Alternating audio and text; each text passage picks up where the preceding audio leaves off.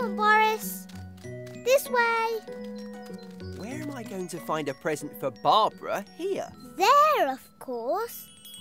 Flowers? Uh, I'm not sure that's a good idea. Flowers always make me. But Barbara loves flowers. Hmm. Hmm. I love flowers, pretty flowers. I can look at them for hours. I love flowers, red and blue. Barbara will love them too. You really shouldn't have picked them. Mummy won't mind if it's for Barbara's birthday. Smell how nice they are. oh! oh, sorry, Miffy. That's why I didn't think it was a good idea.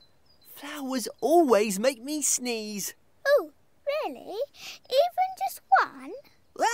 Even just one? Even just one. But you're not sneezing now. Oh, I can look at flowers. It's only when I smell them that I sneeze. what a shame. Barbara loves flowers. We'll have to think of something else. if only we could find flowers that didn't smell. Or a way to stop you smelling them.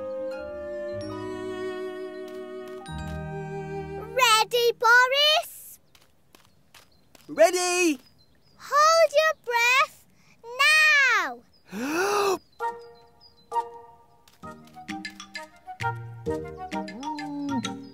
That's it, Boris. Keep going.